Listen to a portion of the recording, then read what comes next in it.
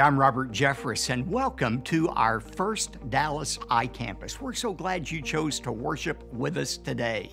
In just a moment, we're going to open our Bibles as we talk about the Solomon secrets. Over these next few weeks, we're looking at some uncommon wisdom from the book of Proverbs about how to succeed in every area of life. And today, we're going to talk about Solomon's secret number one, and that is to succeed more fail more. But before we open God's Word together, let's enjoy the fantastic worship from the First Dallas Choir and Orchestra. Well, good morning, church.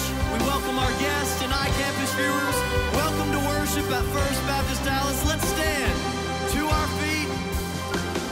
We serve a holy, faithful God, and we're going to sing and give him praise this morning. Let's lift our voices.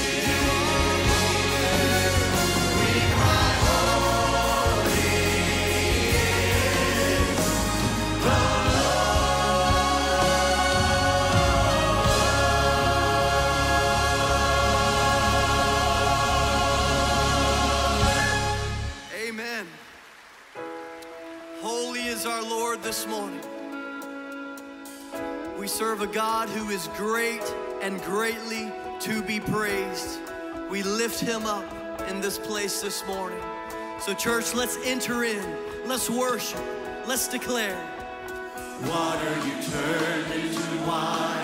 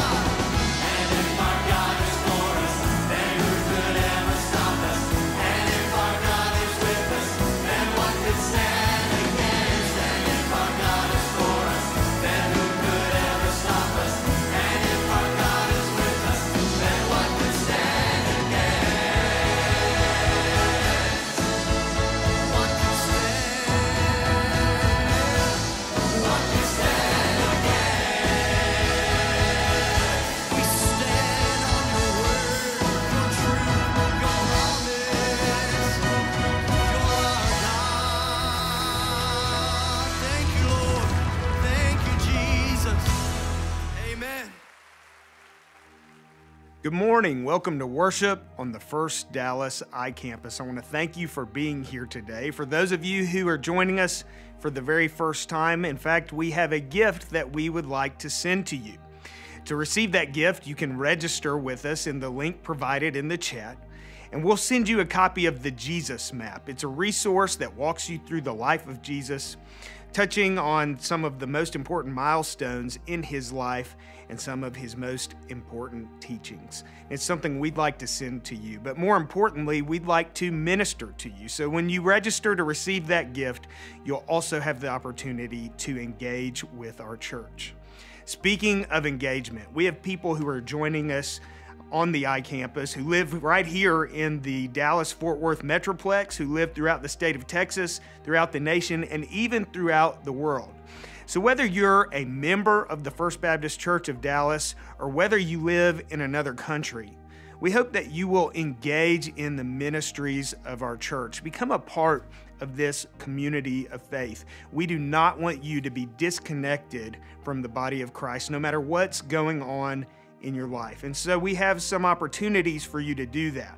If you register through the First Dallas iCampus, you'll be able to participate in our private Facebook group where you'll have the opportunity to connect to other I members of the First Dallas iCampus and also members of our ministry staff. But we've also worked to provide some ministry opportunities to you through our normal ministries at our church.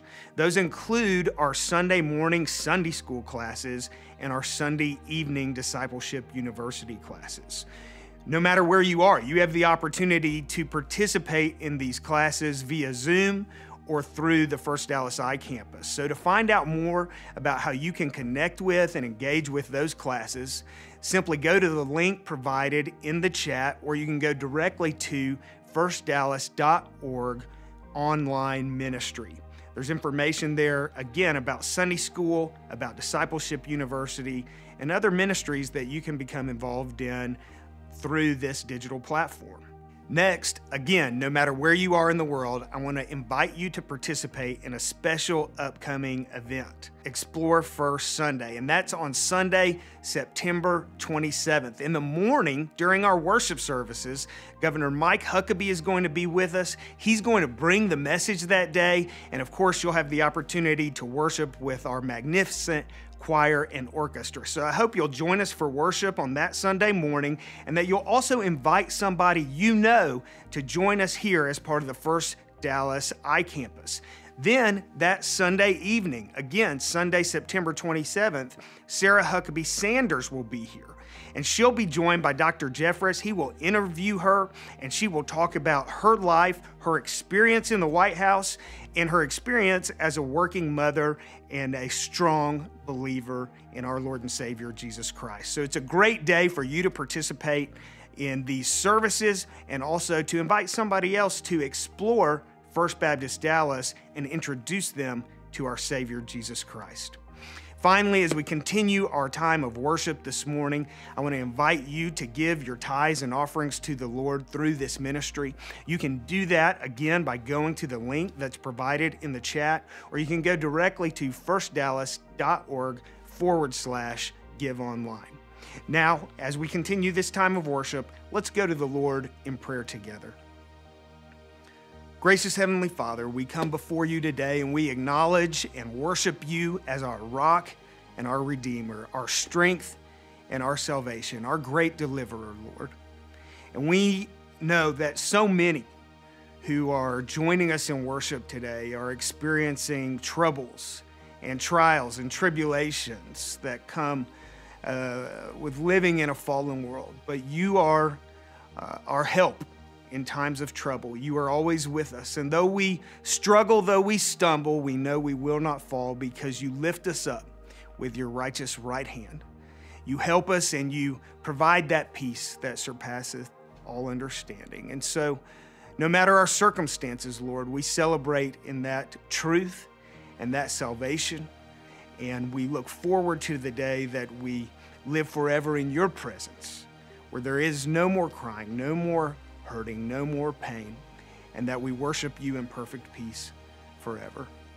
Let us continue our worship now and give glory to you, Father. May you be pleased with this spiritual sacrifice of worship.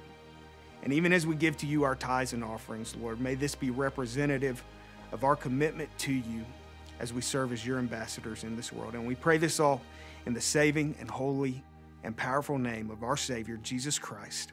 Amen.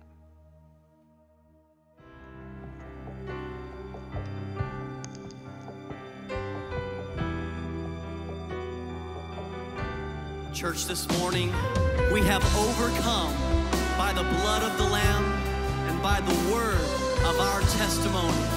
Because of Jesus, we have victory today. Let's sing this. Seated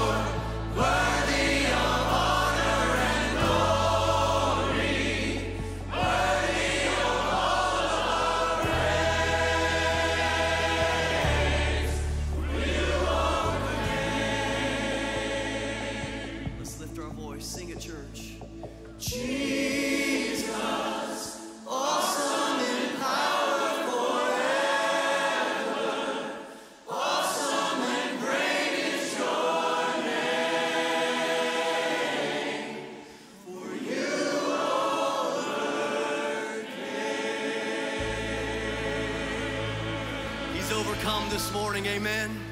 Let's praise the Lord.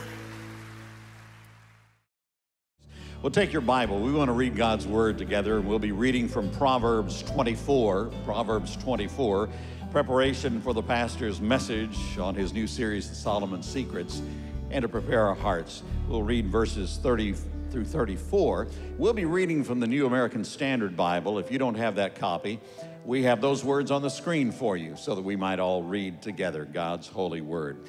And to honor the reading of his word, would you stand? Proverbs chapter 24, beginning with verse 30, and we'll end with verse 34. Let's read together. I passed by the field of the sluggard, and by the vineyard of the man lacking sense. And behold, it was completely overgrown with thistles. Its surface was covered with nettles, and its stone wall was broken down. When I saw, I reflected upon it. I looked and received instruction. A little sleep, a little slumber, a little folding of the hands to rest. Then your poverty will come as a robber, and your want like an armed man. May God bless the reading of his holy word.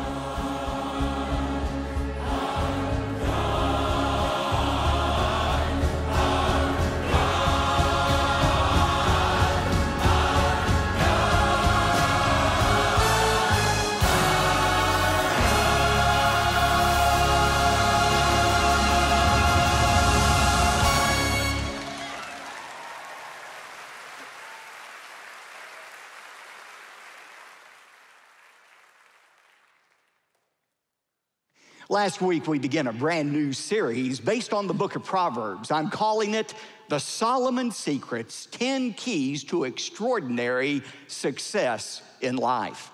Did you know God does want you to be successful in life?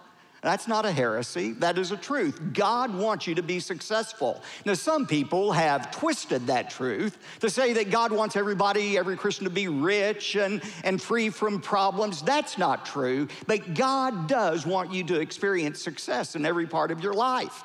We defined success last week as experiencing God's best for every area of your life your family, your finances, your work, your relationship with God.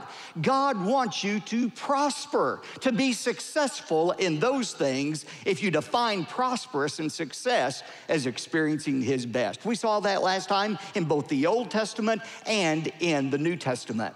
Now, the key to experiencing God's best in your life is wisdom. Wisdom is the skill to live life according to God's plan. And when you apply God's wisdom to every part of your life, you're gonna be more successful than if you ignore God's wisdom. That's what the truth of God's word says. And so, over these next 10 weeks, we are looking at the book of Proverbs and discovering 10 nuggets of wisdom that will guarantee success in every part of your life. Now, I call this pieces of uncommon sense. The wisdom we're going to look at in Proverbs is uncommon sense because it goes against our natural inclination. You see, God's wisdom is different from man's wisdom. God's wisdom says the way up is down, the way to rule is to serve, the way to live is to die. So, if we're going to be successful, we've got to learn a new way of thinking that comes straight from God's Word. So, over these next 10 weeks, we're looking at what I call these 10 Solomon secrets for success. And today we're going to look at the first of the Solomon secrets, and that is to succeed more, fail more. Don't look at me that way. If you don't want to know what I'm talking about, turn in your Bibles to Proverbs chapter 10 as we look at the success secret to succeed more, fail more.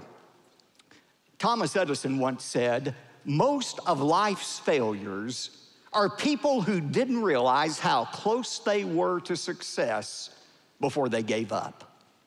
And of course, what Solomon or, or, Thomas Edison was talking about was this quality of persistence. Did you know most people think the reason people, some people are successful in life is because of family connections, inherited wealth, talent, or good luck? But the Bible says no. What really makes the difference between successful and unsuccessful people in life is this quality called persistence. What is persistence? I want you to write this down on your outline.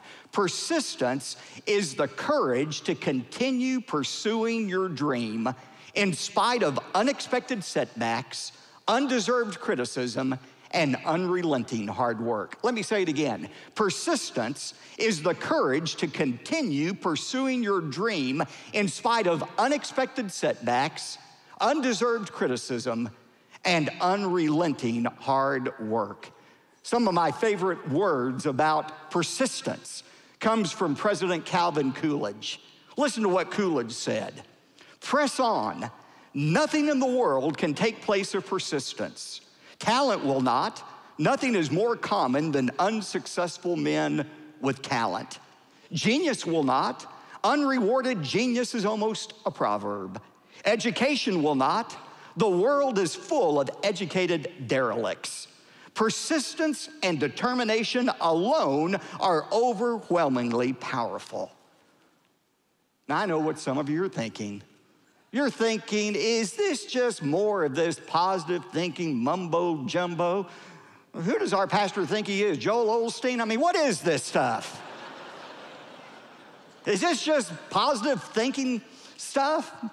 No, it is a very biblical concept the idea of persistence. Let me give you three examples in the Bible of persistence. First of all, consider in Joshua chapter 6 the story of Joshua. Remember, we talked about Joshua during the springtime, and we, we said that God had given Joshua a promise, a dream, and that is inheriting the promised land.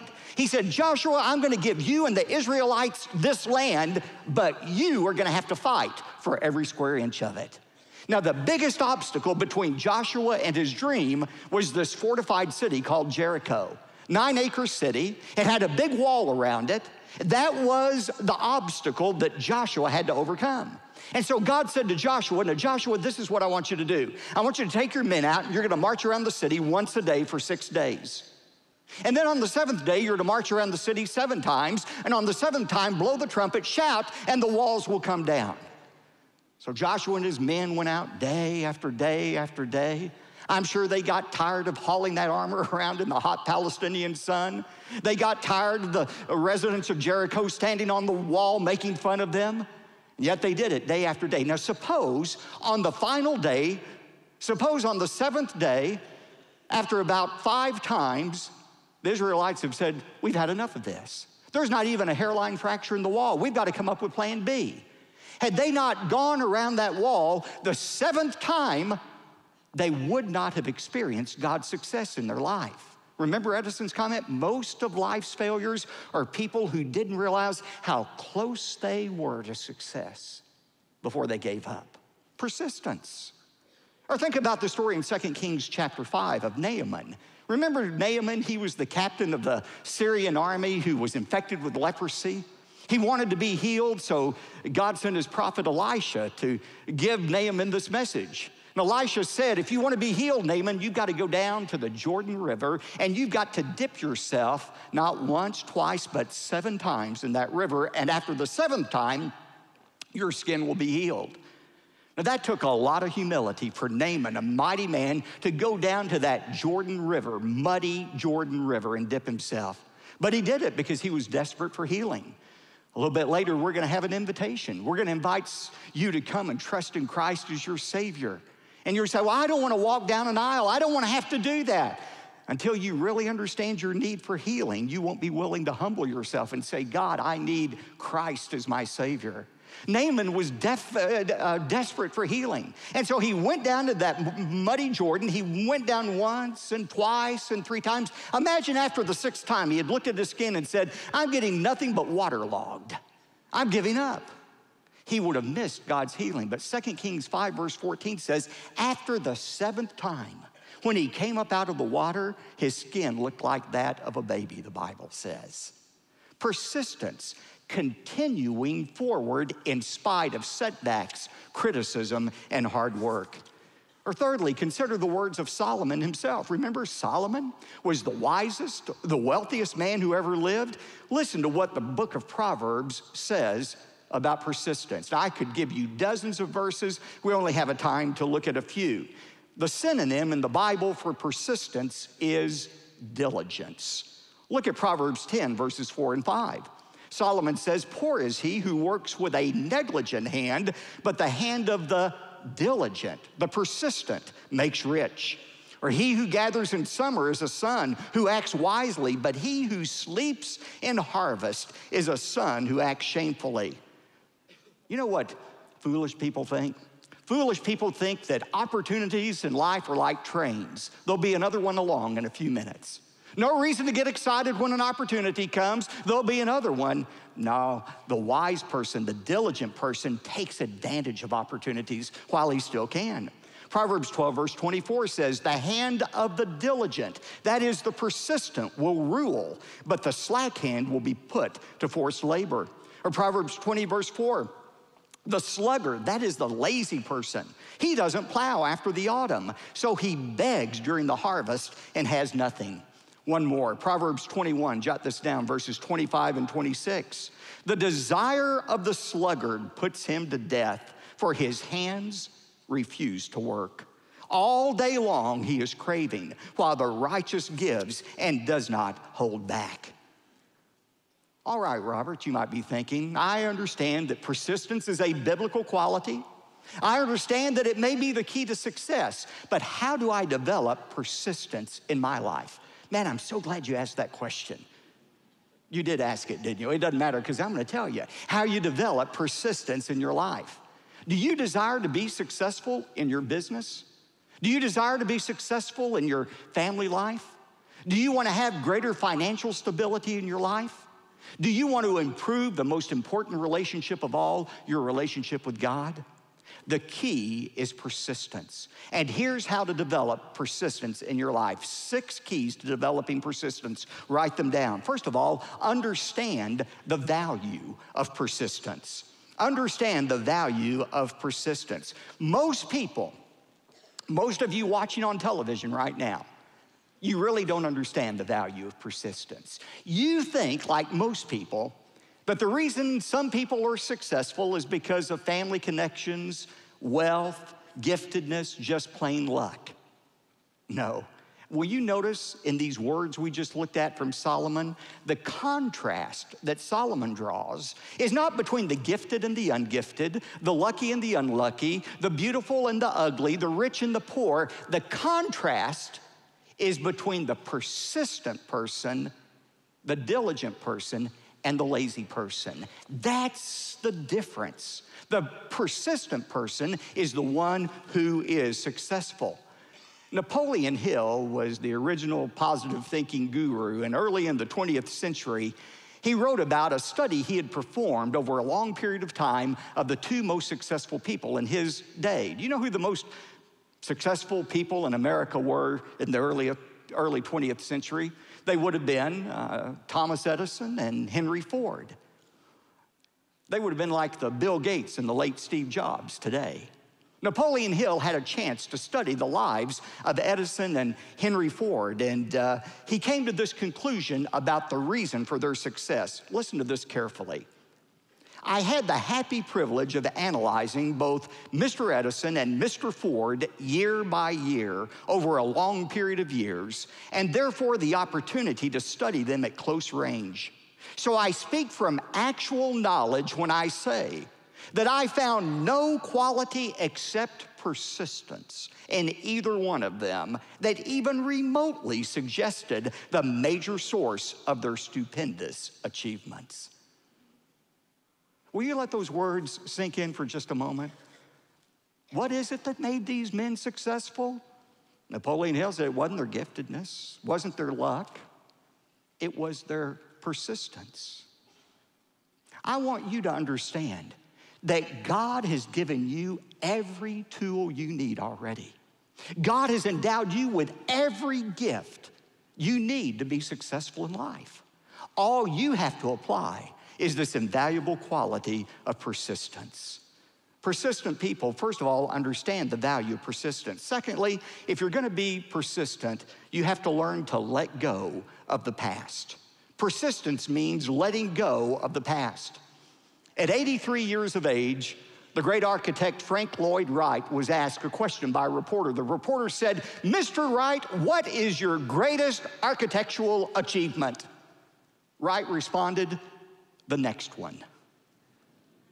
That's what persistent people do. They refuse to look backwards, they are always looking forward.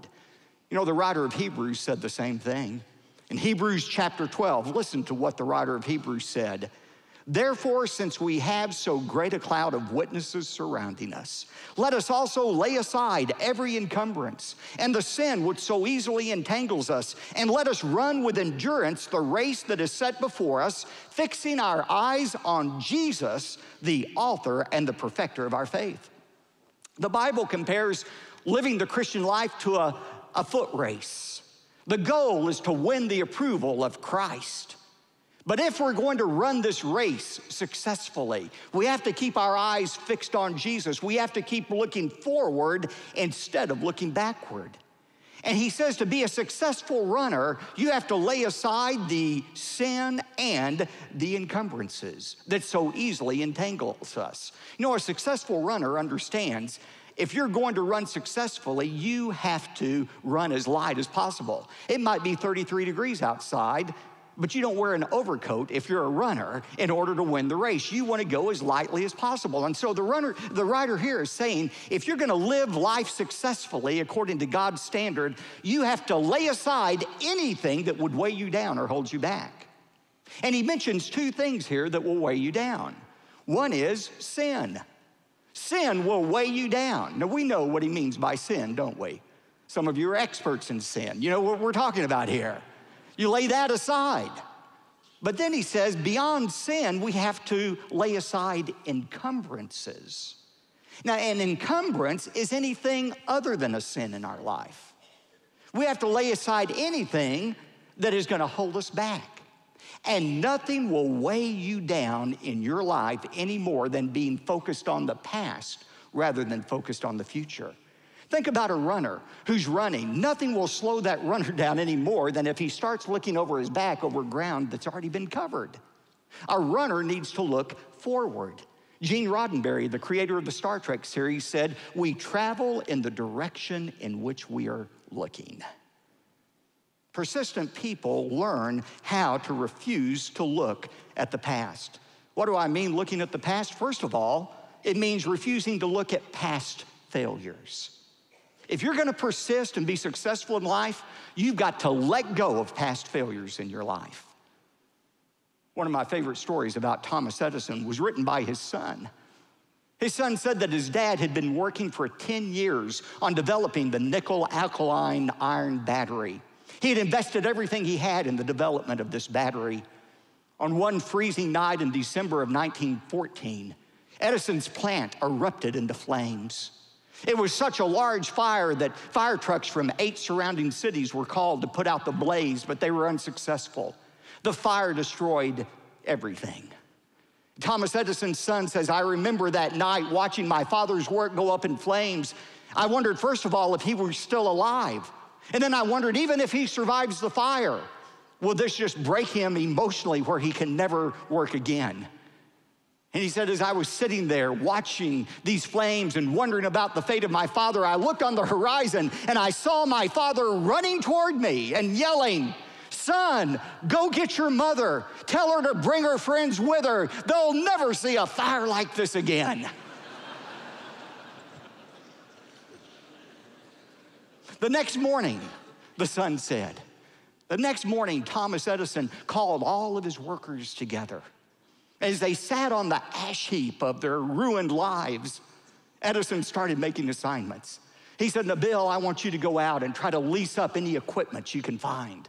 And then he said, Now, John, I want you to go out and I want you to see if there's any uh, plants that we can rent and start the project over again. And on and on and on, he went making the assignments. And almost as an afterthought, he said, Oh, and by the way, does anybody know where we can get some money around here? He refused to be paralyzed by his past failure. There's some of you right now, some of you watching this service, you are paralyzed by some failure in your past. It may have been an unwanted divorce, an undeserved termination, an unfair lawsuit. If you're going to be successful in experiencing God's best for your life, you have to let go of those things.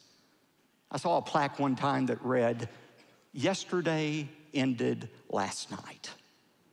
A successful person, a persistent person, lets go of past failures. We have to let go of past failures. Sometimes we have to learn to let go of past successes as well. Moving forward and not looking back means not only not looking back at failures, sometimes it means not looking back at past successes and being paralyzed by them. There was a very famous painter here in Texas whose first painting was a painting of an oak tree. It was a magnificent picture. It won all kind of awards and accolades. But the painter was so overcome by what these people said about his painting of an oak tree. Every other painting he painted from that time on had an oak tree in it somewhere. He couldn't let go of his past success in order to move forward. And that's true for you. There ought to be a time, if you've accomplished a big project, that you ought to rest and you ought to celebrate what you've done. And by the way, those of you who lead a company, you lead a team at your business, boy, this piece of advice is invaluable. If your company has achieved a great success, make sure you take time to celebrate that. Celebration is a key to rejuvenation. But I'll tell you something else celebration does.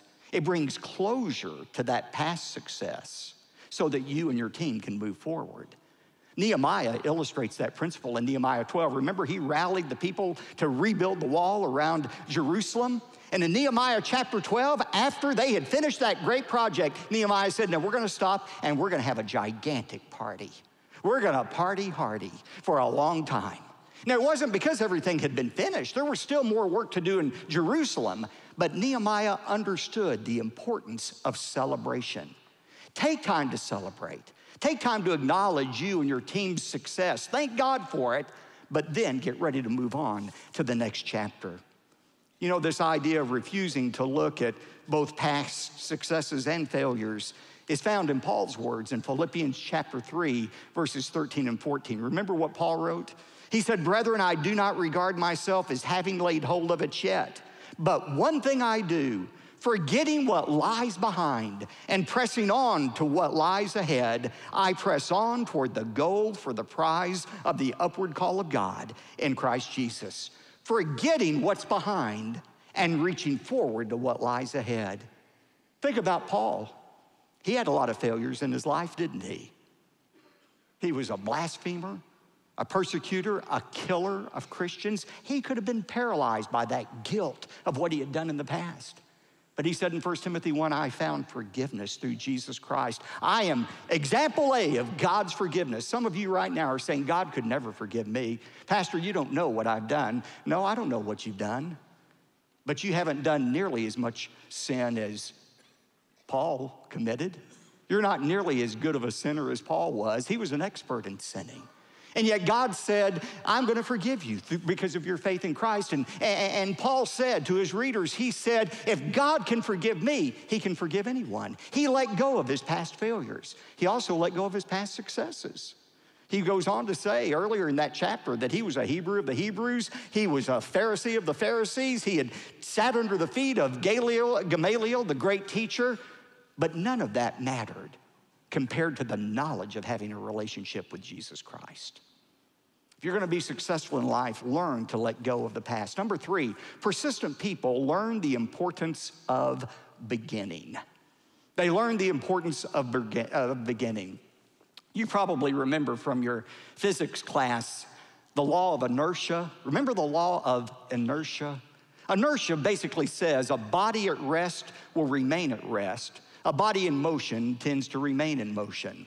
Simply put, it takes a lot more energy to start an object moving than it does to keep that object moving. Whether that object is a car parked at a red light, or a rocket ship parked on a launch pad, or me parked in my recliner after supper, it takes longer to get an object moving takes more energy to get that object moving than it does to keep the object moving. The key is beginning, summoning the energy to begin a project. Persistent people understand the importance of beginning. Now, that's opposed to the lazy individual who can think of any and every reason not to begin a project. Listen to Proverbs 26, verses 13 and 14 this is really funny when Solomon writes this. Verse 13, he said, The sluggard, the lazy person says, There is a lion in the road. A lion is in the open square. As the door turns on its hinges, so the sluggard on his bed. The lazy person can't get out of bed. And he invents all kind of excuses of why he can't begin today that project. The lazy person says, Oh, there's a lion out there. He'll eat me up if I get out and go to work. Now, what you have to understand is when Solomon wrote these words, the chances of a lion walking down the populated city of Jerusalem was about as great as a zebra walking down the street in your neighborhood. It just didn't happen then. But you see, the sluggard was an expert at inventing excuses. Well, let's face it, we all have a little bit of the sluggard in us. We can all think of a reason not to begin that exercise program. Well, I don't have the right shoes and the equipment. We can think of a reason not to get up and have our time with the Lord, praying and reading His Word. Well, God wants me to get my rest today. We can have a reason for, you know, not uh, uh, going to the doctor, Dr. Madeley. Oh, well, you know, he may discover something bad, so I don't want to go. That's kind of stupid when you think about it, isn't it? But we always come up with reasons not to do what we're supposed to do. The great way to overcome inertia that we all have is to begin doing something. That this is worth the price of the sermon today, so I want you to listen carefully. If you know what it is is going to make you successful in life, just start doing something. Just start beginning. That can get you the energy you need to continue. I came across this advertisement in a medical journal years ago that talks about the importance of beginning. Listen to this. We have good news for you. Motivation is not going to strike you like lightning. And motivation is not something that someone else, a nurse, doctor, family member, can bestow or force on you. The whole idea of motivation is a trap. Forget motivation, just do it. Exercise, lose weight, test your blood sugar, or whatever. Do it without motivation, and then guess what? After you start doing the thing, that's when the motivation comes and makes it easy for you to keep on doing it. Motivation is like love and happiness, it's a byproduct. When you're actively engaged in doing something, motivation sneaks up and zaps you when you least expect it. As Harvard psychologist Jerome Bruner says, you're more likely to act yourself into a feeling than feel yourself into an action. So act. Whatever it is you know you should do, do it. Now, here's that nugget of wisdom in that paragraph. It is easier to act yourself into a feeling than feel yourself into an action. Some of you are waiting until the feeling hits you to do what you know God wants you to do in your work, in your marriage, in your relationship with God. I just don't feel like it. If I did this, that would be dishonest because I, I don't feel like it. No, it's much easier to act yourself into a feeling than to feel yourself into an action. That somebody once said, You don't have to be great to start, but you have to start to be great. The successful person, the persistent person, understands the importance of beginning. Number four, if you want to develop this quality of persistence, anticipate setbacks. Persistent people expect and accept setbacks rather than being paralyzed by them. They understand that setbacks are part of the tuition for moving forward in life. In fact, some of our country's most successful people have had devastating setbacks. Let me give you a couple of examples. I love these. In 1889, the San Francisco Examiner newspaper sent Rudyard Kipling the following rejection note I'm sorry, Mr. Kipling, but you just don't know how to use the English language. Did you know that 15 publishers and 30 agents turned down John Grisham's first novel, A Time to Kill? Today, his novels have sold over 100 million copies. George Lucas's movie Star Wars was rejected by every major studio in Hollywood until 20th Century Fox decided to take a chance on it. And of course, it's one of the most blockbuster franchises of all time. Thomas Edison discovered 1,880 ways not to make a light bulb. Babe Ruth struck out 1,330 times, and yet he's considered one of baseball's greatest players.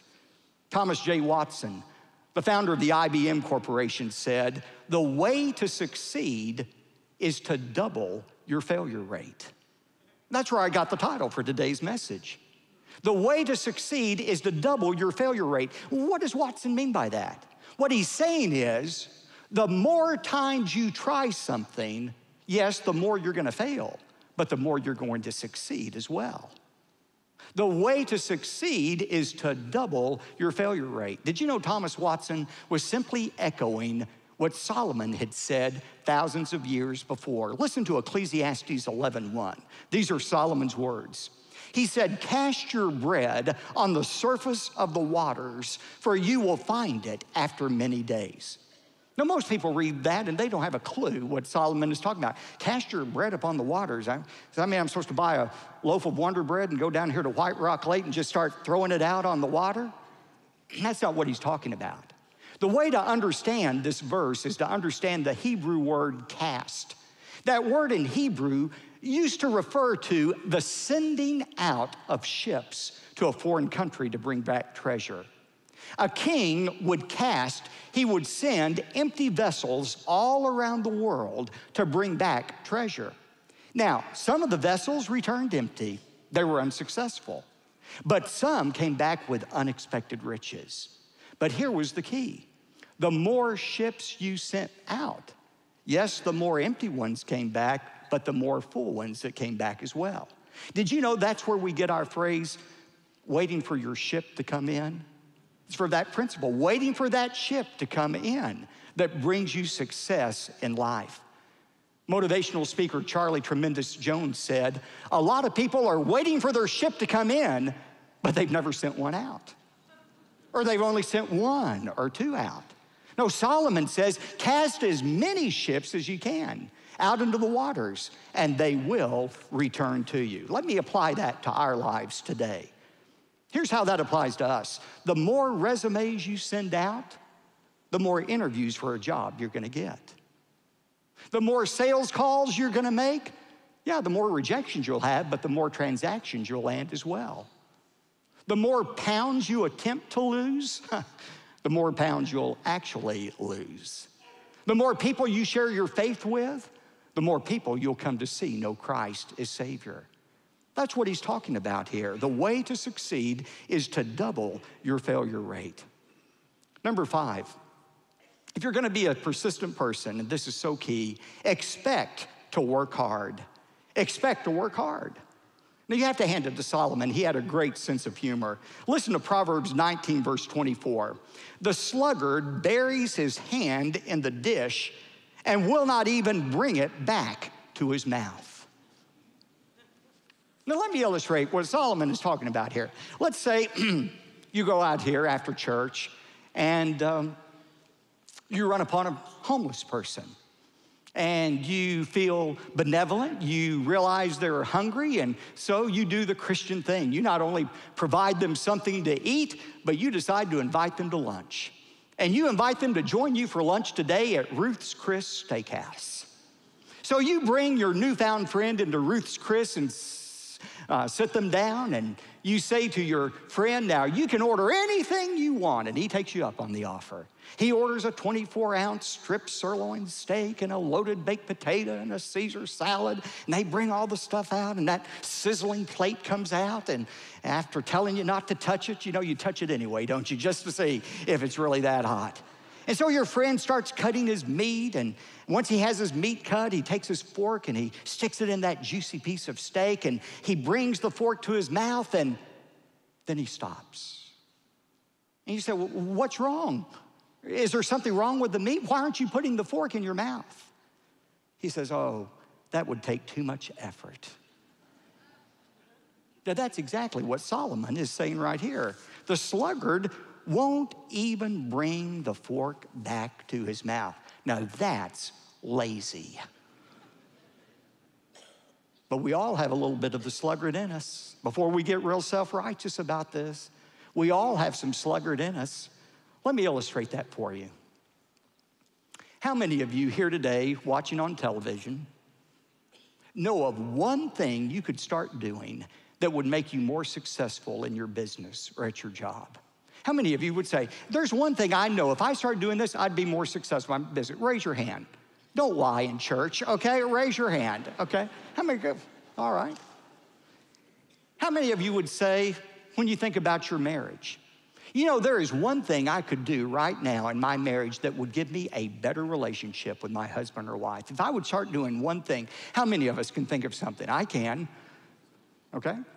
All right.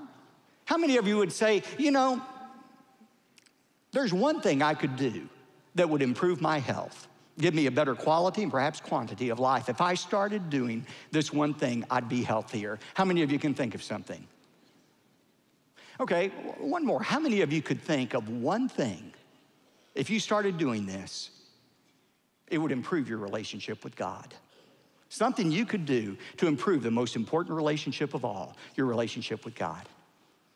Now, here's my question for you why aren't you doing it? Well, why aren't I doing it?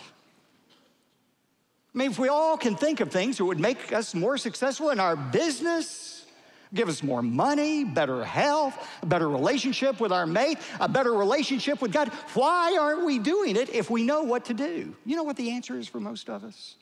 Oh, that would require too much effort. That would just cause us to work too hard. Well, if that's your excuse, I've got some great news for you today. You're not going to die from hard work. Did you know that? You're not. You're just not going to die from hard work. You might die from some other things. It's not going to be hard work. A.L. Williams is an insurance giant. Uh, he wrote a great book a few years ago. I've mentioned it before, but it's one of my favorite books. I love the title of it. The title of it is All You Can Do is All You Can Do. A.L. Williams, before he went into the insurance business, was a high school coach, football coach here in Texas. And he talked about the importance of working hard. And he uses this illustration. He said, I used to tell my football players that it was impossible to die from hard work.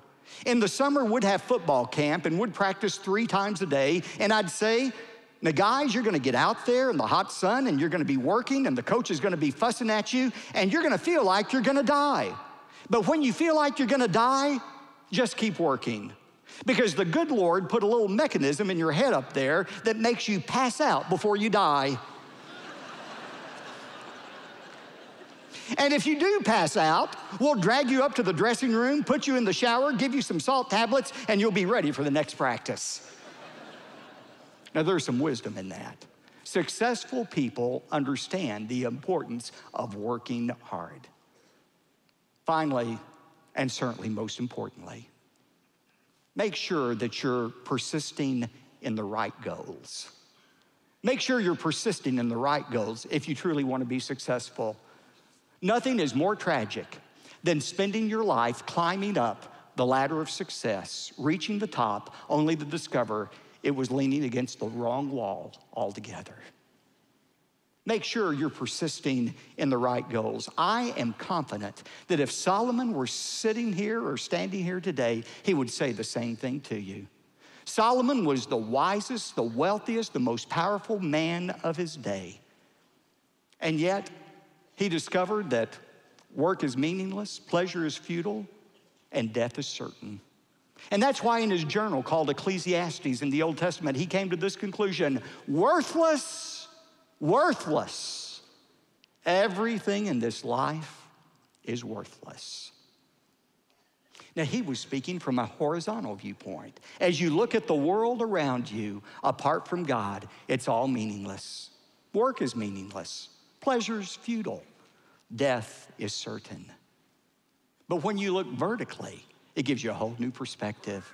And in the final chapter of Ecclesiastes 12, Solomon said, Therefore, my advice to you as the most successful man who's ever lived, my advice to you is simply this remember your Creator. Remember God in the days of your youth, before the days of trouble come and the years approach when you say, I find no pleasure in them. That word remember doesn't mean in Hebrew, oh, just bring to mind. It's not like saying, oh, oh, I remember God. I remember God, and I'm gonna get on doing what I was doing. No, remember means to make God central. Make God central in your life in the days of your youth before the days of trouble come. Remember this no amount of success will fill the void of an empty life. If you apply these principles I gave you today from God's Word, you're gonna be successful in your work, in your finances, in every area of your life. But no amount of success can fill that hole of an empty life. Only God can fill that hole. You may not know the name Ray Combs, but many of you know his face or would have known his face. He was the host of the nighttime version of the game show Family Feud. Remember Family Feud? One night on one episode of Family Feud, Ray Combs was walking down the line of contestants, one of the families that was competing, greeting them as he usually did. And he came to one of the contestants and he noticed they were wearing a lapel pin that had two question marks on it. Now, those of you who have been through the evangelism training, um, explosion uh, witness training program, you know what those two question marks are. People who go through this training in how to share your faith wear these pins, these two question marks, as a way to get into a spiritual conversation with people, because it's always a conversation starter. Well, that's exactly what happened that night on Family Feud. Ray Combs looked at that pin with the two question marks and he said to the contestants, What does that pin stand for? What are those two question marks? He took the bait. and so the contestant said, Well, Ray, these two question marks represent the two most important questions in the universe. Ray Combs said, Well, what's the first question? And he said, remember, this is on national television. He said, Well, the first question, Ray, is if you were to die tonight, do you know with certainty that you would go to heaven? Ray Combs kind of chuckled and he said, Well, I sure hope so, but nobody can know that for sure. Then he went on down to the second person, the third person, then he stopped in his tracks. He went back around, walked back to that contestant and said, Okay, my curiosity got the best of me. What's the second question mark stand for? Ray Combs said, or the uh, contestant said, Well, the second question, Ray, is if you were standing before God and he were to ask you, Why should I let you into heaven? What would you say to him? And without missing a beat, Ray Combs said, Well, I would say to God, because I'm the host of Family Feud and everybody in America loves me. The crowd roared with laughter and applause, and off they went into the game. Not long after that, Ray Combs was replaced as the nighttime host of Family Feud. And not long after that, he hanged himself. He didn't even bother to leave a suicide note. Apparently, being the host of Family Feud wasn't enough to guarantee happiness and security in this life, much less the next one. As Solomon said, there's nothing in this world that's going to satisfy that need you have in your life for God. There's a God shaped vacuum in each one of us. Or as Solomon said in Ecclesiastes 2:25, for who can work and who can find enjoyment apart from God? Remember your Creator in the days of your youth. Make sure you're persisting in the right goal. You know, one of the great ironies of life is this you can be a tremendous success in this world and an utter failure in the next world. The greatest failure of all is to miss out on God's unconditional gift of His forgiveness that He wants to offer you today. Would you like to know for sure that one day you're going to be welcomed into heaven? There's no amount of good works or religious rituals you can perform to earn heaven. It's received as a gift by trusting in Jesus as your Savior. I don't think it's an accident you're tuned into iCampus right now. God is extending to you that invitation to receive His gift of forgiveness. And today, if you'd like to receive that gift of forgiveness, I invite you to close your eyes if you're able to and pray to God this simple prayer along with me. Just repeat it after me Dear God, thank you for loving me. I realize I have failed you in many ways, and I'm truly sorry for the sins in my life. But I believe what I've heard today that you loved me so much, you sent your son Jesus to die on the cross for me, to take the punishment from you, God, that I deserve to take for my sins. And right now, I'm trusting in what Jesus did for me, not in my good works but in what Jesus did for me to save me from my sins. Thank you for forgiving me and help me to spend the rest of my life serving you. And I pray this in Jesus' name. Amen. Today, if you prayed that prayer with me and you really meant it with all of your heart, you've become a part of God's family. You can know for sure that one day God is going to welcome you into heaven. And I'd like to know that you prayed that prayer with me. In the chat room where you're watching, there's a link that you can click onto that will immediately notify me of your decision to trust in Christ as your Savior. So if you would, click on that link, fill out the brief information, and when you do that, I'll send you some free complimentary material about what it means to live your life as a Christian. I would love to hear today from you that you prayed that prayer. So, again, go into the chat room, click on that special link, and fill out the brief information. Thank you so much for doing that. Well, I hope you'll join us again next time on First Dallas iCampus as we look at another Solomon secret for success, and that is success without succession is failure. That's next time on First Dallas iCampus.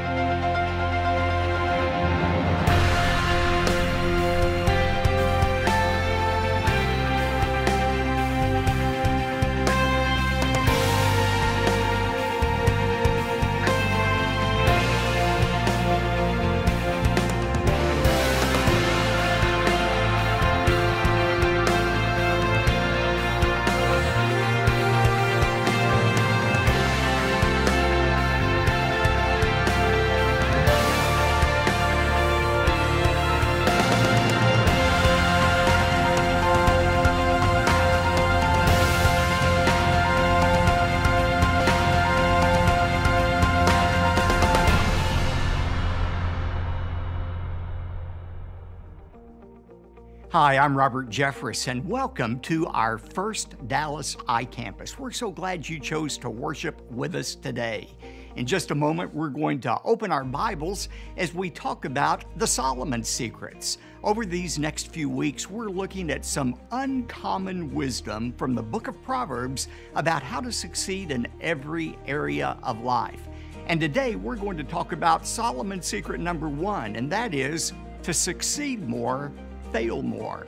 But before we open God's Word together, let's enjoy the fantastic worship from the First Dallas Choir and Orchestra.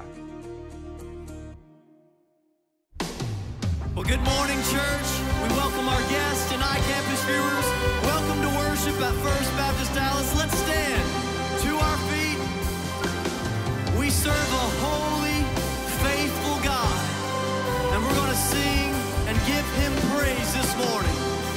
lift our voices.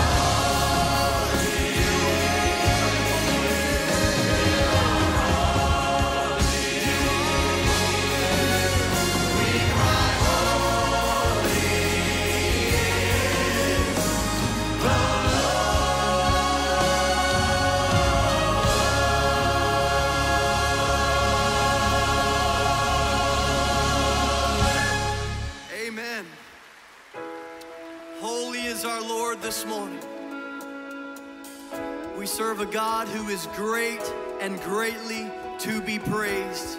We lift him up in this place this morning. So, church, let's enter in, let's worship, let's declare. Water you turned into wine.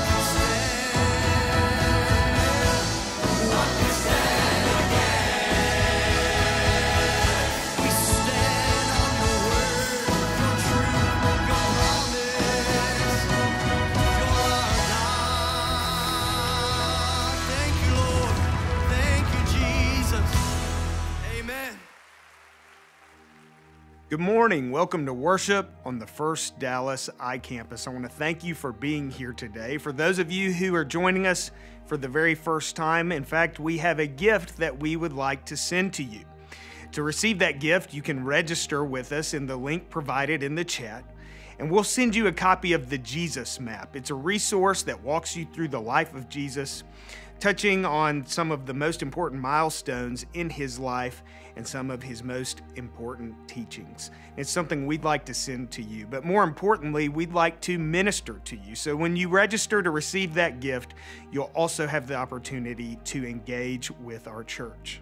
Speaking of engagement, we have people who are joining us on the iCampus who live right here in the Dallas Fort Worth Metroplex, who live throughout the state of Texas, throughout the nation, and even throughout the world. So, whether you're a member of the First Baptist Church of Dallas or whether you live in another country, we hope that you will engage in the ministries of our church. Become a part of this community of faith. We do not want you to be disconnected from the body of Christ, no matter what's going on in your life. And so we have some opportunities for you to do that. If you register through the First Dallas iCampus, you'll be able to participate in our private Facebook group where you'll have the opportunity to connect to other I members of the First Dallas iCampus and also members of our ministry staff. But we've also worked to provide some ministry opportunities to you through our normal ministries at our church. Those include our Sunday morning Sunday school classes and our Sunday evening discipleship university classes. No matter where you are, you have the opportunity to participate in these classes via Zoom or through the First Dallas iCampus. So, to find out more about how you can connect with and engage with those classes, simply go to the link provided in the chat, or you can go directly to firstdallas.org online ministry. There's information there, again, about Sunday School, about Discipleship University, and other ministries that you can become involved in through this digital platform. Next, again, no matter where you are in the world, I want to invite you to participate in a special upcoming event, Explore First Sunday. And that's on Sunday, September 27th. In the morning, during our worship services, Governor Mike Huckabee is going to be with us. He's going to bring the message that day. And of course, you'll have the opportunity to worship with our magnificent choir, and orchestra. So I hope you'll join us for worship on that Sunday morning and that you'll also invite somebody you know to join us here as part of the First Dallas iCampus. Then that Sunday evening, again, Sunday, September 27th, Sarah Huckabee Sanders will be here and she'll be joined by Dr. Jeffress. He will interview her and she will talk about her life, her experience in the White House, and her experience as a working mother and a strong believer in our Lord and Savior Jesus Christ. So it's a great day for you to participate in these services and also to invite somebody else to explore First Baptist Dallas and introduce them to our Savior Jesus Christ. Finally, as we continue our time of worship this morning, I want to invite you to give your tithes and offerings to the Lord through this ministry. You can do that again by going to the link that's provided in the chat, or you can go directly to firstdallas.org forward slash give online. Now, as we continue this time of worship, let's go to the Lord in prayer together. Gracious Heavenly Father, we come before you today and we acknowledge and worship you as our rock and our Redeemer, our strength and our salvation, our great deliverer, Lord. And we know that so many who are joining us in worship today are experiencing troubles and trials and tribulations that come uh, with living in a fallen world. But you are uh, our help in times of trouble. You are always with us. And though we struggle, though we stumble, we know we will not fall because you lift us up with your righteous right hand. You help us and you provide that peace that surpasseth all understanding. And so, no matter our circumstances, Lord, we celebrate in that truth and that salvation. And we look forward to the day that we live forever in your presence, where there is no more crying, no more hurting, no more pain, and that we worship you in perfect peace forever. Let us continue our worship now and give glory to you, Father. May you be pleased with this spiritual sacrifice of worship. And even as we give to you our tithes and offerings, Lord, may this be representative of our commitment to you as we serve as your ambassadors in this world. And we pray this all in the saving and holy and powerful name of our Savior, Jesus Christ. Amen.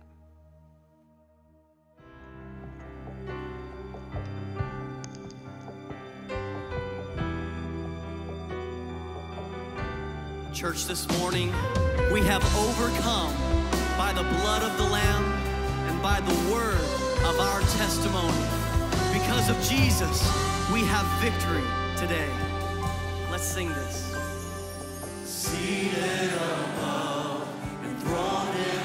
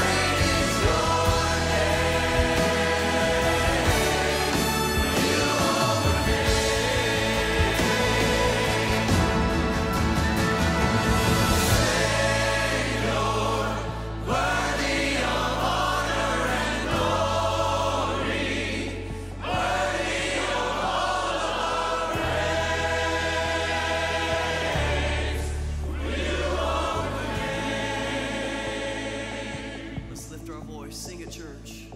Jesus. Awesome and power foresome and praise your name.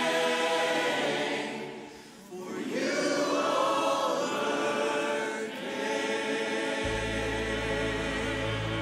He's overcome this morning, amen. Let's praise the Lord. Well, take your Bible. We want to read God's Word together, and we'll be reading from Proverbs 24. Proverbs 24, preparation for the pastor's message on his new series, The Solomon Secrets, and to prepare our hearts. We'll read verses 30 through 34. We'll be reading from the New American Standard Bible. If you don't have that copy, we have those words on the screen for you so that we might all read together God's holy word.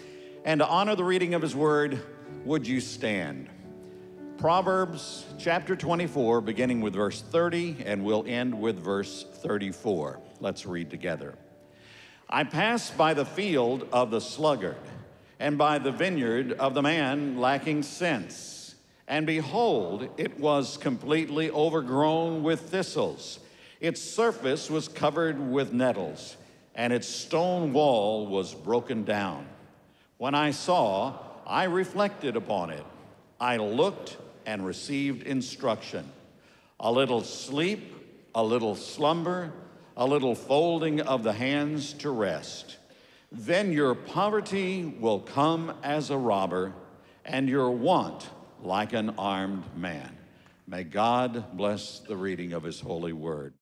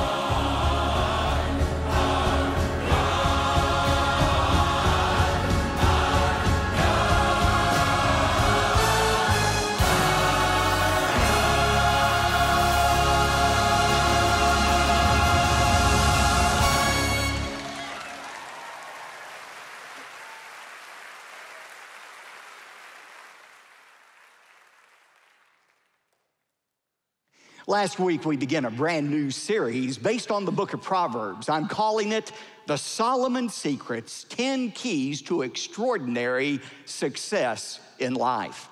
Did you know God does want you to be successful in life?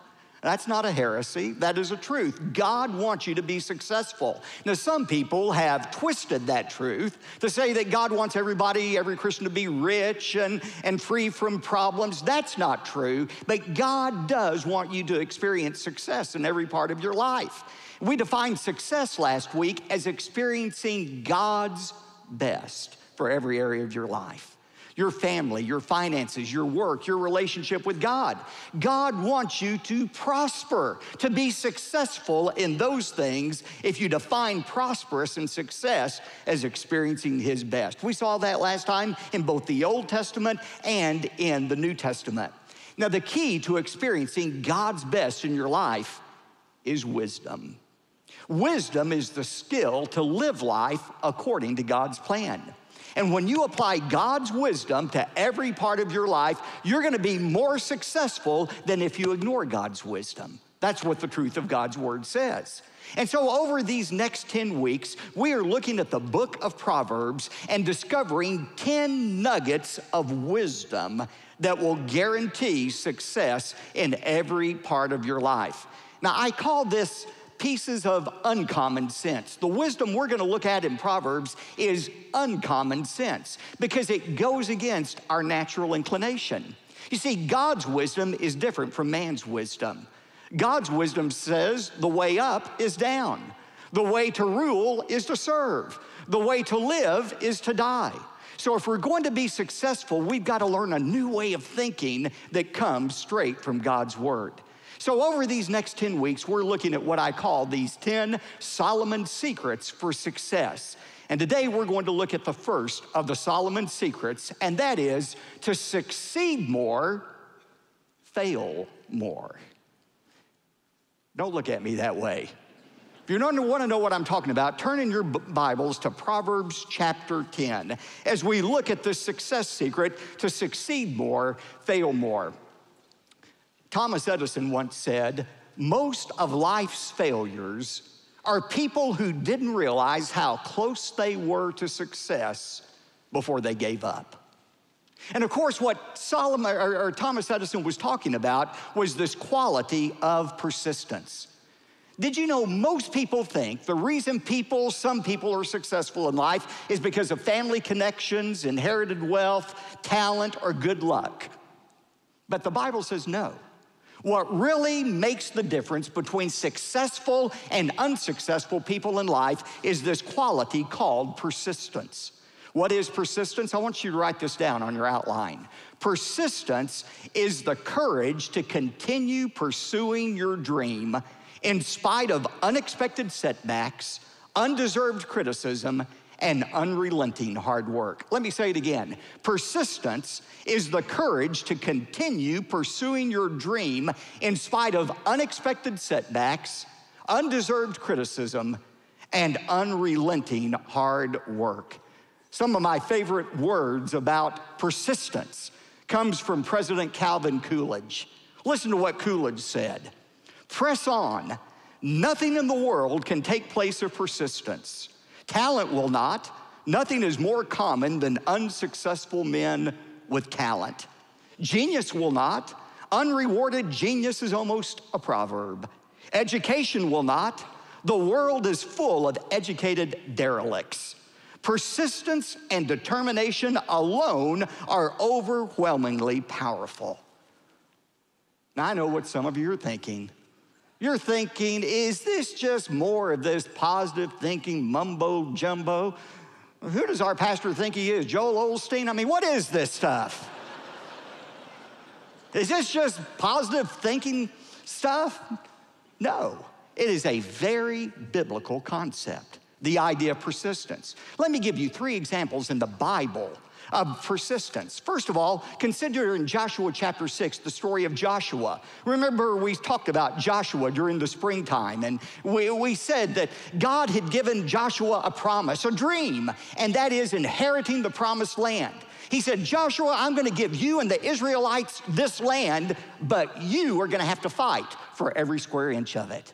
Now, the biggest obstacle between Joshua and his dream was this fortified city called Jericho. Nine acre city, it had a big wall around it. That was the obstacle that Joshua had to overcome. And so God said to Joshua, Now, Joshua, this is what I want you to do. I want you to take your men out, and you're gonna march around the city once a day for six days. And then on the seventh day, you're to march around the city seven times, and on the seventh time, blow the trumpet, shout, and the walls will come down. So Joshua and his men went out day after day after day. I'm sure they got tired of hauling that armor around in the hot Palestinian sun.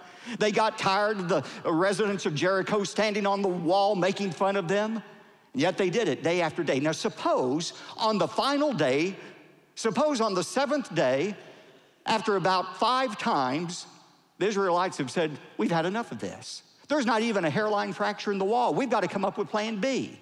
Had they not gone around that wall the seventh time, they would not have experienced God's success in their life. Remember Edison's comment? Most of life's failures are people who didn't realize how close they were to success before they gave up. Persistence. Or think about the story in 2 Kings chapter 5 of Naaman. Remember Naaman? He was the captain of the Syrian army who was infected with leprosy. He wanted to be healed, so God sent his prophet Elisha to give Naaman this message. And Elisha said, If you want to be healed, Naaman, you've got to go down to the Jordan River and you've got to dip yourself not once, twice, but seven times in that river. And after the seventh time, your skin will be healed. Now, that took a lot of humility for Naaman, a mighty man, to go down to that Jordan River, muddy Jordan River, and dip himself. But he did it because he was desperate for healing. A little bit later, we're going to have an invitation. We're going to invite you to come and trust in Christ as your Savior.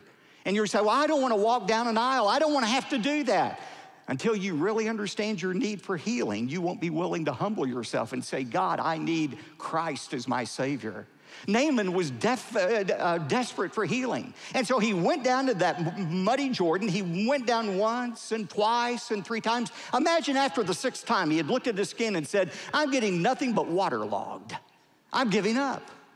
He would have missed God's healing. But 2 Kings 5, verse 14 says, After the seventh time, when he came up out of the water, his skin looked like that of a baby, the Bible says. Persistence continuing forward in spite of setbacks, criticism, and hard work. Or thirdly, consider the words of Solomon himself. Remember, Solomon was the wisest, the wealthiest man who ever lived?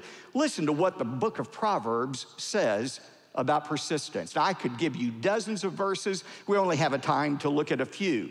The synonym in the Bible for persistence is diligence. Look at Proverbs 10, verses 4 and 5. Solomon says, Poor is he who works with a negligent hand, but the hand of the diligent, the persistent, makes rich.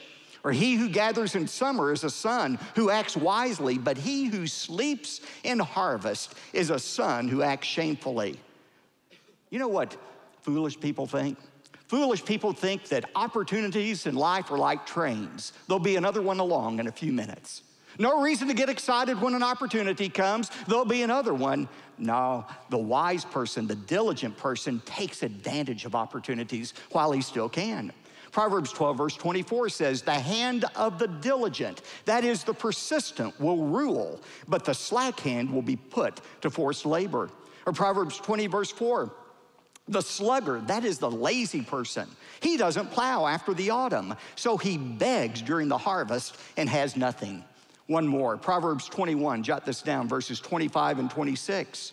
The desire of the sluggard puts him to death, for his hands refuse to work. All day long he is craving, while the righteous gives and does not hold back. All right, Robert, you might be thinking, I understand that persistence is a biblical quality.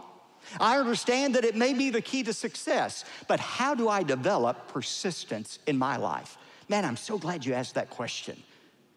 You did ask it, didn't you? It doesn't matter because I'm going to tell you how you develop persistence in your life. Do you desire to be successful in your business? Do you desire to be successful in your family life? Do you want to have greater financial stability in your life?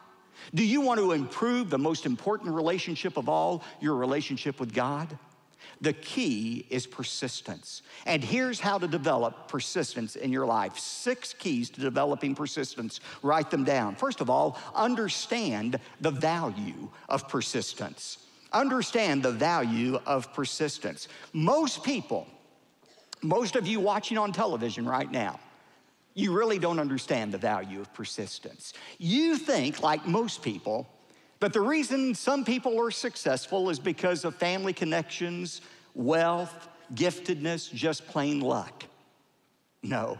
Will you notice in these words we just looked at from Solomon, the contrast that Solomon draws is not between the gifted and the ungifted, the lucky and the unlucky, the beautiful and the ugly, the rich and the poor. The contrast is between the persistent person, the diligent person, and the lazy person. That's the difference. The persistent person is the one who is successful. Napoleon Hill was the original positive thinking guru, and early in the 20th century, he wrote about a study he had performed over a long period of time of the two most successful people in his day. Do you know who the most successful people in America were in the early, early 20th century? They would have been uh, Thomas Edison and Henry Ford. They would have been like the Bill Gates and the late Steve Jobs today. Napoleon Hill had a chance to study the lives of Edison and Henry Ford, and uh, he came to this conclusion about the reason for their success. Listen to this carefully. I had the happy privilege of analyzing both Mr. Edison and Mr. Ford year by year over a long period of years, and therefore the opportunity to study them at close range. So I speak from actual knowledge when I say that I found no quality except persistence in either one of them that even remotely suggested the major source of their stupendous achievements. Will you let those words sink in for just a moment? What is it that made these men successful? Napoleon Hill said it wasn't their giftedness, wasn't their luck, it was their persistence. I want you to understand that God has given you every tool you need already. God has endowed you with every gift you need to be successful in life. All you have to apply is this invaluable quality of persistence. Persistent people, first of all, understand the value of persistence. Secondly, if you're gonna be persistent, you have to learn to let go of the past. Persistence means letting go of the past. At 83 years of age, the great architect Frank Lloyd Wright was asked a question by a reporter. The reporter said, Mr. Wright, what is your greatest architectural achievement? Wright responded, the next one. That's what persistent people do. They refuse to look backwards, they are always looking forward. You know, the writer of Hebrews said the same thing. In Hebrews chapter 12, listen to what the writer of Hebrews said. Therefore, since we have so great a cloud of witnesses surrounding us, let us also lay aside every encumbrance and the sin which so easily entangles us, and let us run with endurance the race that is set before us, fixing our eyes on Jesus, the author and the perfecter of our faith. The Bible compares living the Christian life to a, a foot race. The goal is to win the approval of Christ. But if we're going to run this race successfully, we have to keep our eyes fixed on Jesus. We have to keep looking forward instead of looking backward. And he says to be a successful runner, you have to lay aside the sin and the encumbrances that so easily entangles us. You know, a successful runner understands if you're going to run successfully, you have to run as light as possible. It might be 33 degrees outside, but you don't wear an overcoat if you're a runner in order to win the race. You want to go as lightly as possible. And so the runner, the writer here is saying, if you're going to live life successfully according to God's standard, you have to lay aside anything that would weigh you down or hold you back. And he mentions two things here that will weigh you down. One is sin. Sin will weigh you down. Now we know what he means by sin, don't we? Some of you are experts in sin. You know what we're talking about here. You lay that aside. But then he says, beyond sin, we have to lay aside encumbrances. Now, an encumbrance is anything other than a sin in our life. We have to lay aside anything that is going to hold us back. And nothing will weigh you down in your life any more than being focused on the past rather than focused on the future. Think about a runner who's running. Nothing will slow that runner down any more than if he starts looking over his back over ground that's already been covered. A runner needs to look forward. Gene Roddenberry, the creator of the Star Trek series, said, We travel in the direction in which we are looking. Persistent people learn how to refuse to look at the past. What do I mean looking at the past? First of all, it means refusing to look at past failures. If you're gonna persist and be successful in life, you've got to let go of past failures in your life. One of my favorite stories about Thomas Edison was written by his son.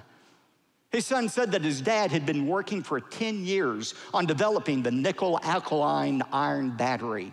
He had invested everything he had in the development of this battery. On one freezing night in December of 1914, Edison's plant erupted into flames. It was such a large fire that fire trucks from eight surrounding cities were called to put out the blaze, but they were unsuccessful. The fire destroyed everything. Thomas Edison's son says, I remember that night watching my father's work go up in flames. I wondered, first of all, if he were still alive. And then I wondered, even if he survives the fire, will this just break him emotionally where he can never work again? And he said, as I was sitting there watching these flames and wondering about the fate of my father, I looked on the horizon and I saw my father running toward me and yelling, Son, go get your mother. Tell her to bring her friends with her. They'll never see a fire like this again. the next morning, the son said, the next morning, Thomas Edison called all of his workers together. As they sat on the ash heap of their ruined lives, Edison started making assignments. He said, Now, Bill, I want you to go out and try to lease up any equipment you can find. And then he said, Now, John, I want you to go out and I want you to see if there's any uh, plants that we can rent and start the project over again. And on and on and on, he went making the assignments. And almost as an afterthought, he said, Oh, and by the way, does anybody know where we can get some money around here? He refused to be paralyzed by his past failure. There's some of you right now, some of you watching this service, you are paralyzed by some failure in your past. It may have been an unwanted divorce, an undeserved termination, an unfair lawsuit. If you're going to be successful in experiencing God's best for your life, you have to let go of those things. I saw a plaque one time that read, Yesterday ended last night. A successful person, a persistent person, lets go of past failures. We have to let go of past failures. Sometimes we have to learn to let go of past successes as well. Moving forward and not looking back means not only not looking back at failures, sometimes it means not looking back at past successes and being paralyzed by them. There was a very famous painter here in Texas whose first painting was a painting of an oak tree. It was a magnificent picture. It won all kind of awards and accolades. But the painter was so overcome by what these people said about his painting of an oak tree. Every other painting he painted from that time on had an oak tree in it somewhere. He couldn't let go of his past success in order to move forward. And that's true for you. There ought to be a time, if you've accomplished a big project, that you ought to rest and you ought to celebrate what you've done. And by the way, those of you who lead a company, you lead a team at your business, boy, this piece of advice is invaluable. If your company has achieved a great success, make sure you take time to celebrate that. Celebration is a key to rejuvenation. But I'll tell you something else celebration does it brings closure to that past success so that you and your team can move forward. Nehemiah illustrates that principle in Nehemiah 12. Remember, he rallied the people to rebuild the wall around Jerusalem. And in Nehemiah chapter 12, after they had finished that great project, Nehemiah said, Now we're gonna stop and we're gonna have a gigantic party. We're going to party hardy for a long time. Now, it wasn't because everything had been finished. There was still more work to do in Jerusalem, but Nehemiah understood the importance of celebration. Take time to celebrate. Take time to acknowledge you and your team's success. Thank God for it, but then get ready to move on to the next chapter. You know, this idea of refusing to look at both past successes and failures is found in Paul's words in Philippians chapter 3, verses 13 and 14. Remember what Paul wrote? He said, Brethren, I do not regard myself as having laid hold of it yet, but one thing I do, forgetting what lies behind and pressing on to what lies ahead, I press on toward the goal for the prize of the upward call of God in Christ Jesus, forgetting what's behind and reaching forward to what lies ahead. Think about Paul. He had a lot of failures in his life, didn't he? He was a blasphemer, a persecutor, a killer of Christians. He could have been paralyzed by that guilt of what he had done in the past. But he said in 1 Timothy 1, I found forgiveness through Jesus Christ. I am example A of God's forgiveness. Some of you right now are saying, God could never forgive me. Pastor, you don't know what I've done. No, I don't know what you've done. But you haven't done nearly as much sin as Paul committed. You're not nearly as good of a sinner as Paul was. He was an expert in sinning. And yet God said, I'm going to forgive you because of your faith in Christ. And, and Paul said to his readers, he said, if God can forgive me, he can forgive anyone. He let go of his past failures. He also let go of his past successes. He goes on to say earlier in that chapter that he was a Hebrew of the Hebrews. He was a Pharisee of the Pharisees. He had sat under the feet of Gamaliel, Gamaliel the great teacher. But none of that mattered compared to the knowledge of having a relationship with Jesus Christ. If you're going to be successful in life, learn to let go of the past. Number three, persistent people learn the importance of beginning. They learn the importance of beginning. You probably remember from your physics class the law of inertia. Remember the law of inertia? Inertia basically says a body at rest will remain at rest a body in motion tends to remain in motion. Simply put, it takes a lot more energy to start an object moving than it does to keep that object moving.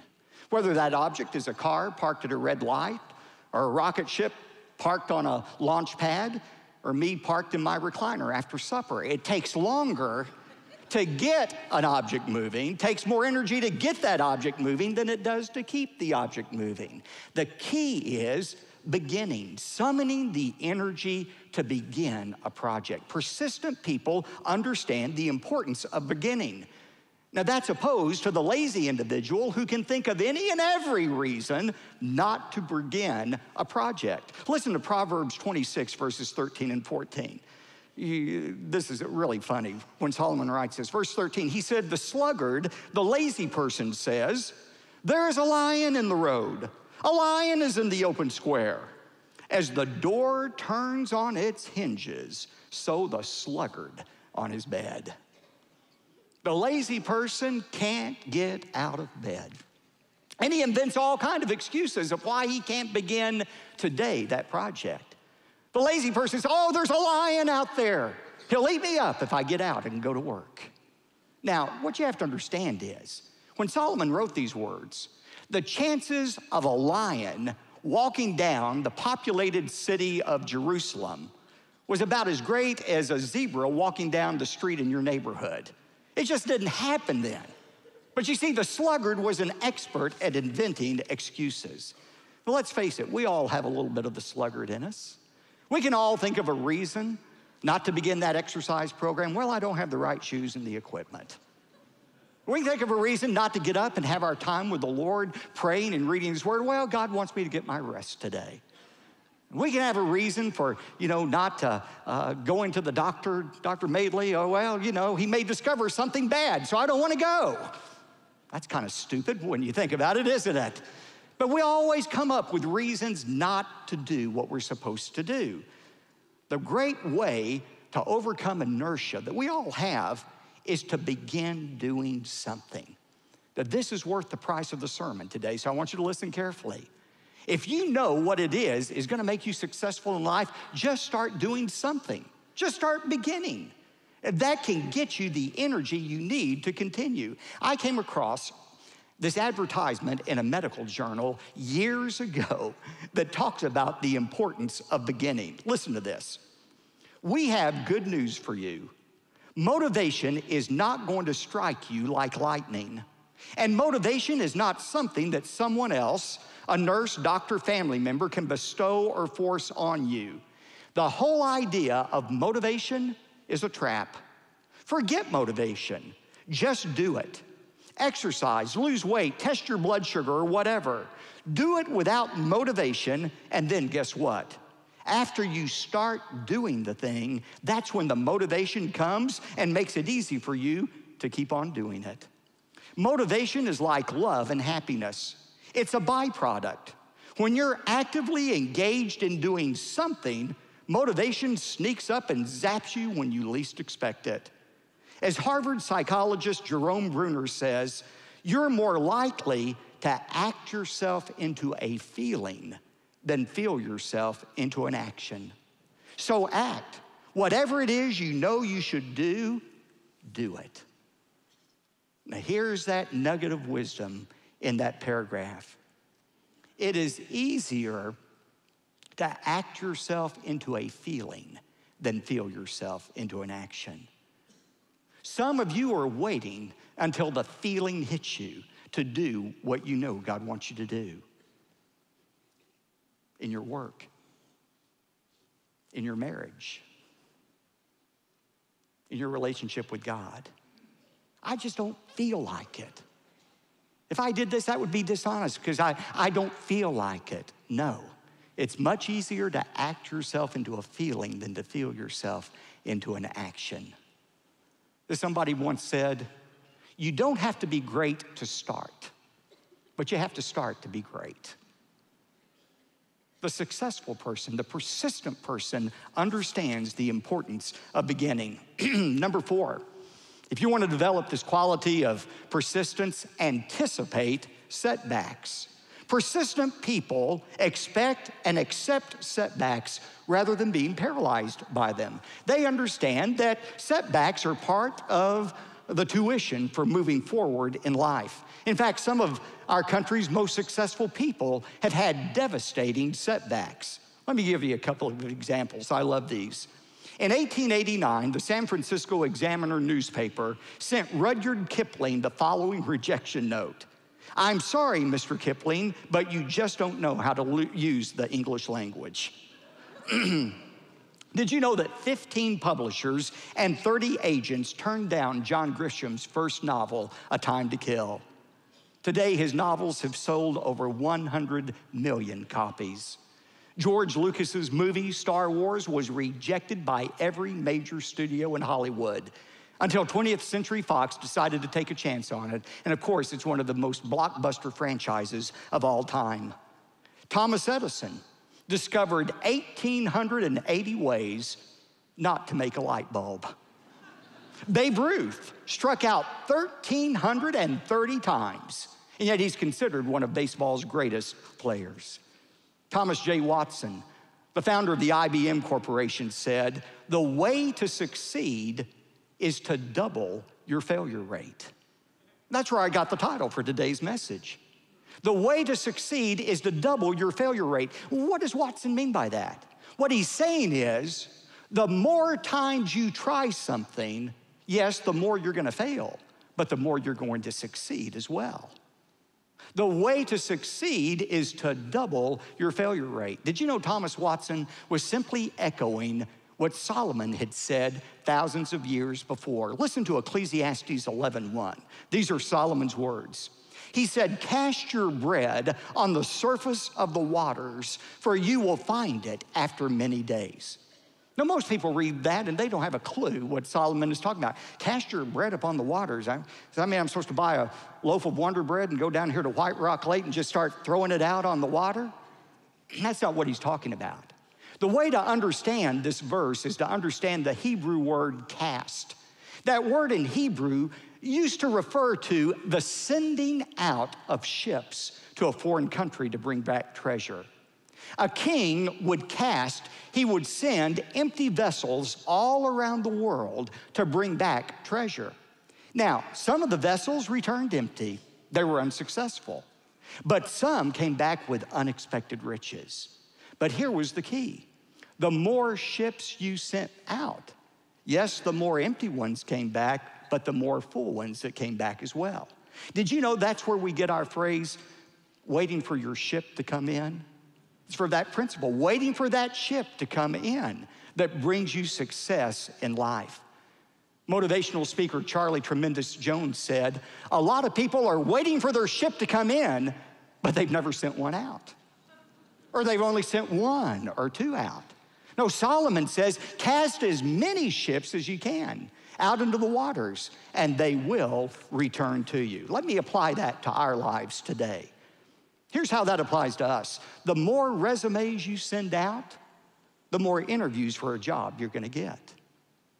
The more sales calls you're gonna make, yeah, the more rejections you'll have, but the more transactions you'll land as well. The more pounds you attempt to lose, the more pounds you'll actually lose.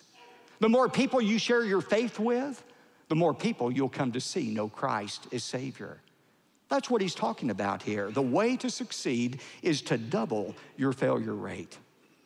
Number five, if you're gonna be a persistent person, and this is so key, expect to work hard. Expect to work hard. Now you have to hand it to Solomon. He had a great sense of humor. Listen to Proverbs 19, verse 24. The sluggard buries his hand in the dish and will not even bring it back to his mouth. Now, let me illustrate what Solomon is talking about here. Let's say you go out here after church and um, you run upon a homeless person and you feel benevolent, you realize they're hungry, and so you do the Christian thing. You not only provide them something to eat, but you decide to invite them to lunch. And you invite them to join you for lunch today at Ruth's Chris Steakhouse.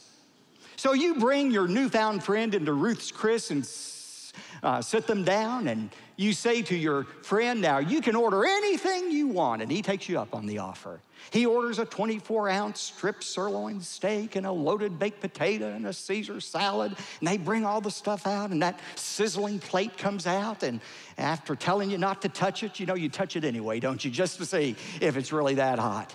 And so your friend starts cutting his meat, and once he has his meat cut, he takes his fork and he sticks it in that juicy piece of steak, and he brings the fork to his mouth, and then he stops. And you say, well, What's wrong? Is there something wrong with the meat? Why aren't you putting the fork in your mouth? He says, Oh, that would take too much effort.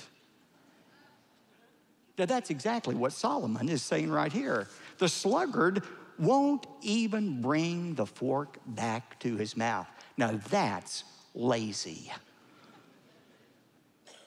But we all have a little bit of the sluggard in us. Before we get real self righteous about this, we all have some sluggard in us. Let me illustrate that for you. How many of you here today watching on television know of one thing you could start doing that would make you more successful in your business or at your job? How many of you would say, There's one thing I know, if I start doing this, I'd be more successful in my business? Raise your hand. Don't lie in church, okay? Raise your hand, okay? How many? All right. How many of you would say, when you think about your marriage, you know, there is one thing I could do right now in my marriage that would give me a better relationship with my husband or wife. If I would start doing one thing, how many of us can think of something? I can. Okay? All right. How many of you would say, you know, there's one thing I could do that would improve my health, give me a better quality and perhaps quantity of life. If I started doing this one thing, I'd be healthier. How many of you can think of something? Okay, one more. How many of you could think of one thing, if you started doing this, it would improve your relationship with God? Something you could do to improve the most important relationship of all, your relationship with God. Now, here's my question for you why aren't you doing it? Why aren't I doing it? I mean, if we all can think of things that would make us more successful in our business, give us more money, better health, a better relationship with our mate, a better relationship with God. Why aren't we doing it if we know what to do? You know what the answer is for most of us? Oh, that would require too much effort. That would just cause us to work too hard. Well, if that's your excuse, I've got some great news for you today.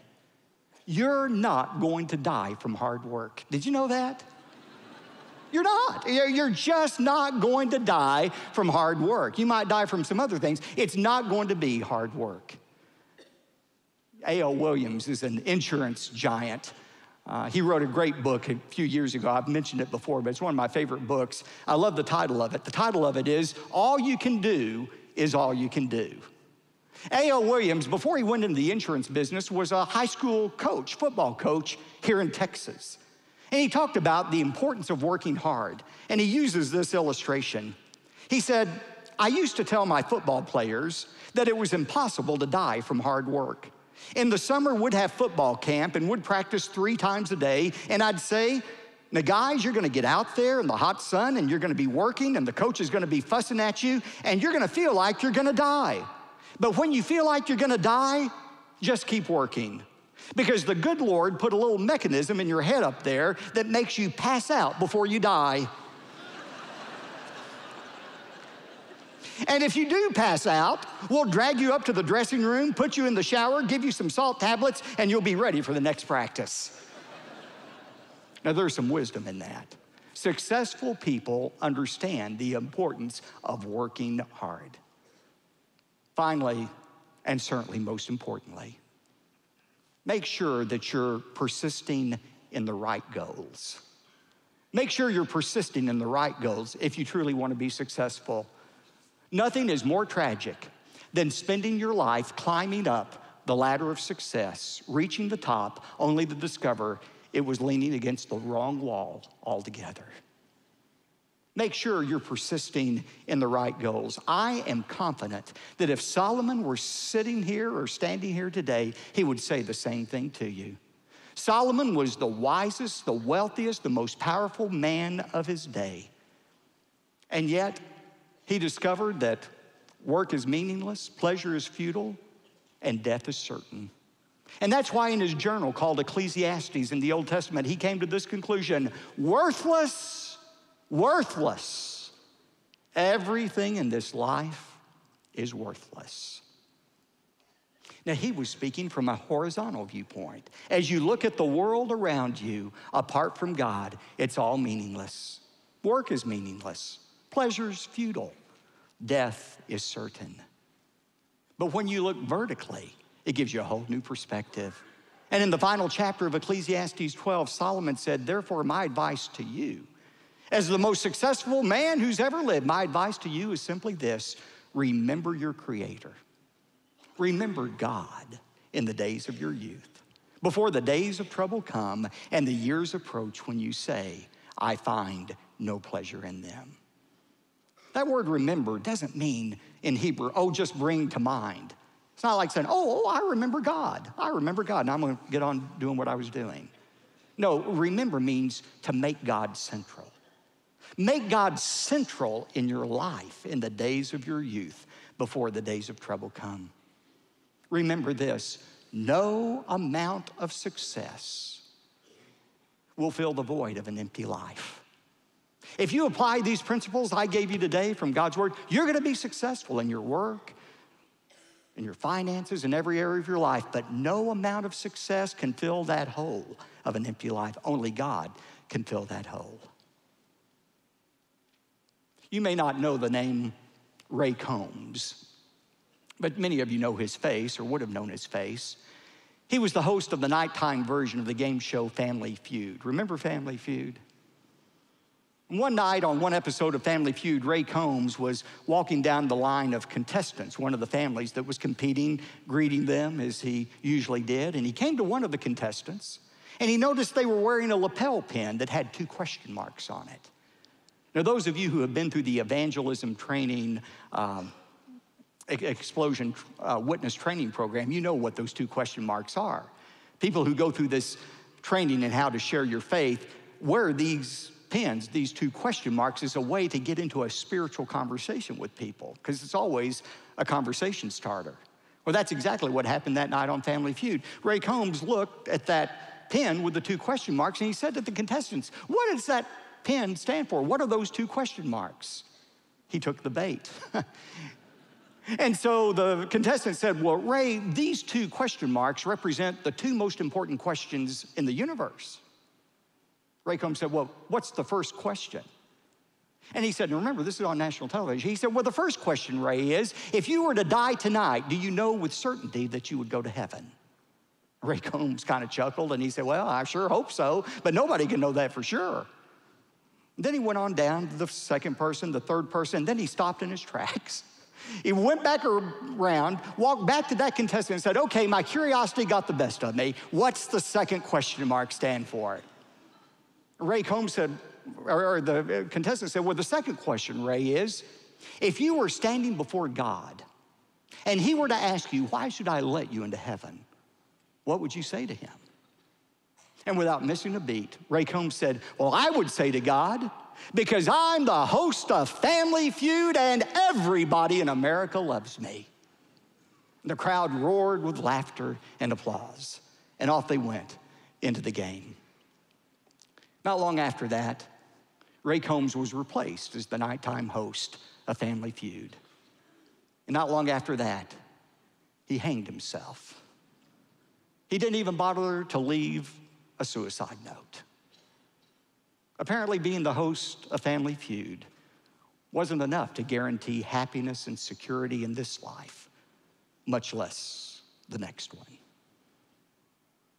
As Solomon said, there's nothing in this world that's going to satisfy that need you have in your life for God.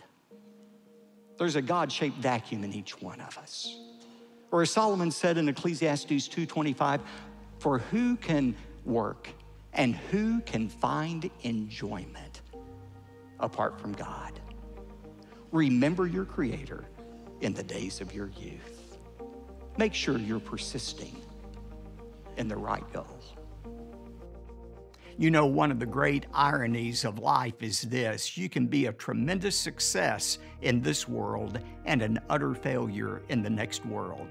The greatest failure of all is to miss out on God's unconditional gift of His forgiveness that He wants to offer you today. Would you like to know for sure that one day you're going to be welcomed into heaven? There's no amount of good works or religious rituals you can perform to earn heaven. It's received as a gift by trusting in Jesus as your Savior. I don't think it's an accident you're tuned into iCampus right now. God is extending to you that invitation to receive His gift of forgiveness. And today, if you'd like to receive that gift of forgiveness, I invite you to close your eyes if you're able to and pray to God this simple prayer along with me. Just repeat it after me Dear God, thank you for loving me. I realize I have failed you in many ways, and I'm truly sorry for the sins in my life. But I believe what I've heard today that you loved me so much, you sent your son Jesus to die on the cross for me, to take the punishment from you, God, that I deserve to take for my sins. And right now, I'm trusting in what Jesus did for me, not in my good works but in what Jesus did for me to save me from my sins. Thank you for forgiving me and help me to spend the rest of my life serving you. And I pray this in Jesus' name. Amen. Today, if you prayed that prayer with me and you really meant it with all of your heart, you've become a part of God's family. You can know for sure that one day God is going to welcome you into heaven. And I'd like to know that you prayed that prayer with me.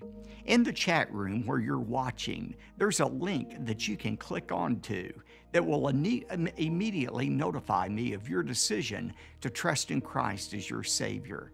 So if you would, click on that link, fill out the brief information, and when you do that, I'll send you some free complimentary material about what it means to live your life as a Christian. I would love to hear today from you that you prayed that prayer. So, again, go into the chat room, click on that special link, and fill out the brief information. Thank you so much for doing that. Well, I hope you'll join us again next time on First Dallas iCampus as we look at another Solomon secret for success, and that is success without succession is failure. That's next time on First Dallas iCampus.